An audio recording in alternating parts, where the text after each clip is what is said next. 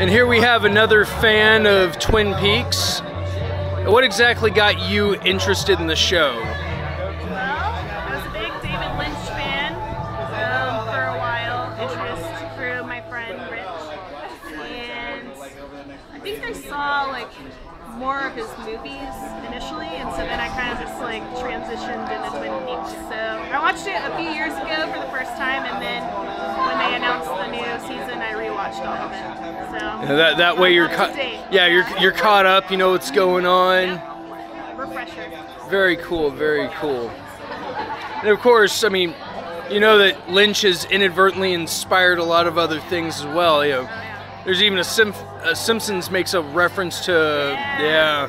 What don't they make references? Yeah, true, but still, that that was very clever of them. Yeah. Yeah. Definitely. But so you can't wait for the new season to start tonight. Oh skee ball league and we have to play skee ball at the time that's premiering, but I'm gonna watch it immediately when I get home. Oh, well, there you go. So, Well, best of luck to you there. yeah.